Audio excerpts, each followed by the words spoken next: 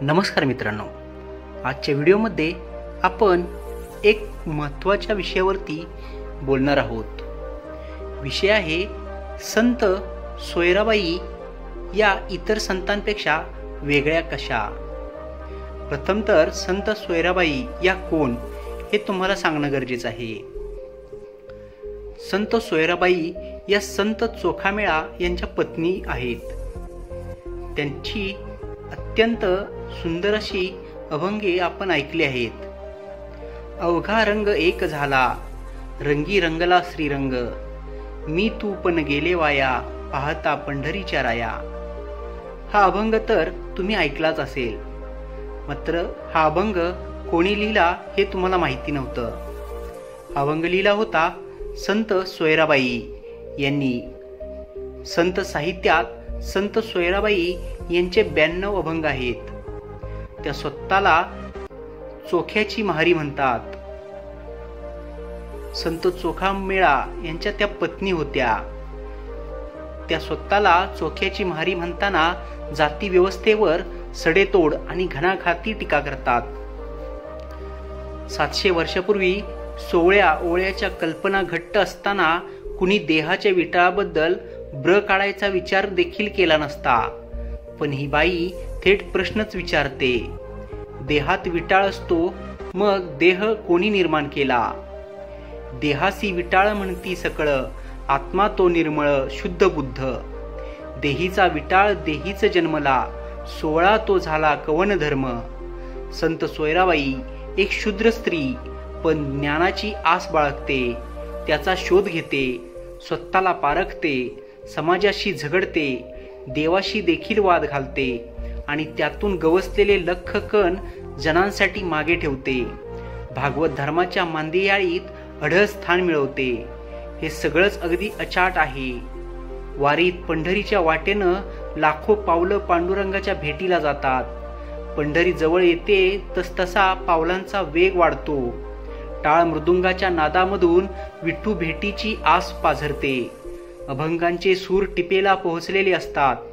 जाती पंथांचे गरीब श्रीमंतीचे भेद गळून जातात आणि एकत्वाचं दर्शन घडवत ही पावलं निष्ठेनं चालत राहतात. गेली सात आठशे वर्ष याच वाटेवरून ही पावलं जात आहेत. तेराव्या शतकात सतरा वर्षांच्या कोवळ्या पोरानं संस्कृत आणि वेद हे लोखंडी पडद्या आडचं ज्ञान भावार्थ दीपिकेमधून सामान्य जणांच्या भाषेत रसाळपणे मांडलं. आणि ती संत विभूती म्हणजे संत ज्ञानेश्वर या समतेच्या क्रांतीची माऊली ठरली. समाजातल्या सगळ्या स्तरातले लोक या झेंड्याखाली गोळा झाले. ही समतेची गुढी पेलताना त्यांनी छळ सोसला. अवहेलना झेलली पण खांद्यावरची पताका खाली पडू दिली नाही. यात संत नामदेव शिंपी होते संत येसोबा खेचर होते संत गोरा कुंभार होते संत नरहरी सोनार होते संत तुकोबा कुणबी होते संत सेना न्हावी होते संत सावतामाळी होते संत दासी जनी होत्या संत कान्होपात्रा गणिका होत्या. पण या सगळ्या मंदियाळीत वेगळं होतं ते चोखा मेळा आणि त्याचं कुटुंब. तेराव्या शतकात मंगळवेड्याच्या महारवाड्यात जन्मलेल्या चोखा मेळ्यानं विठ्ठलाच्या पायाशी उभं राहून जोहार मांडला. जाती व्यवस्थेला सुरुंग लावणारे हे पहिले संत होय. संत चोखोबांनी जरी पाया रचला पण त्यांची पत्नी संत सोयराबाईंनी मात्र कळस चढवला. महार समाज आणि त्यातल्या त्यात बाई म्हणजे सोयराबाईंचं जगणं आणखी एक पायरी खाली. नवऱ्याबरोबर मेलेली ढोरं गावाबाहेर ओढून नेता नेता या बाईनं सांगितलेलं जगण्याचं तत्वज्ञान अचंबित करतं. अवघा रंग एक झाला. रंगी रंगला श्रीरंग. मी तू पण गेले वाया. पाहता पंढरीच्या राया. असा नितांत सुंदर अभंग लिहिणाऱ्या सोयराबाईंचं स्थान तात्कालीन संतांहून तसुबरही कमी नाही. सोयराबाईचे एकूण ब्याण्णव अभंग उपलब्ध आहेत. त्यातल्या बहुतांश अभंगामधून त्या स्वतःचा उल्लेख चोख्याची महारी असा करतात. चोकोबाची महारी असं अभिमानानं म्हणवून घेत असली तरी त्यांनी स्वतःचं वेगळेपण सिद्ध केलं आहे. सोयराबाईच्या अभंगामधून डोकावणारं तत्वज्ञान सोपं आहे.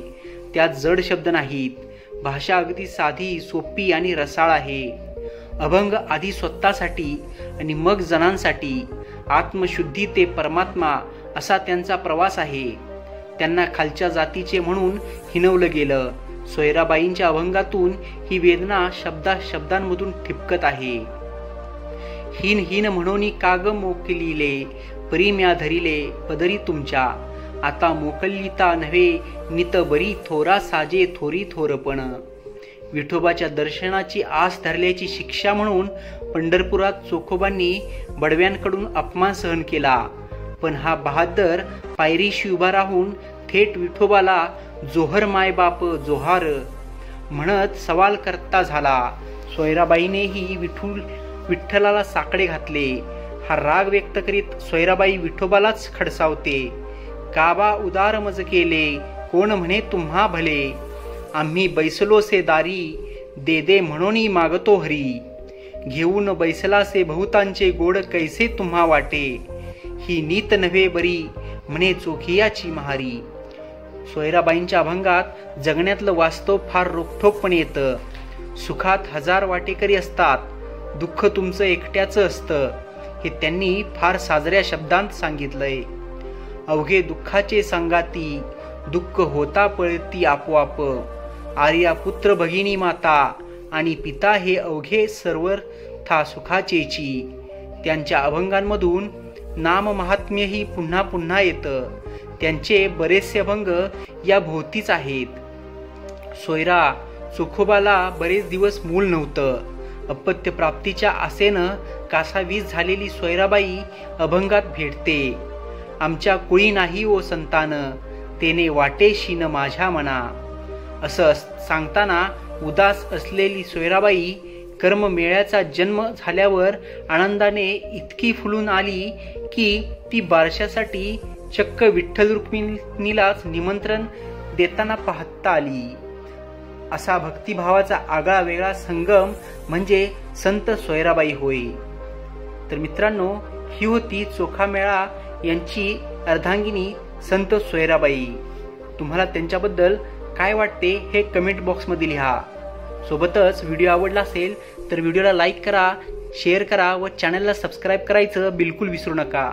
लवकरच भेटू पुन्हा एकदा अशाच इंटरेस्टिंग व्हिडिओसोबत तोपर्यंत स्वतःची काळजी घ्या. जय हिंद जय महाराष्ट्र.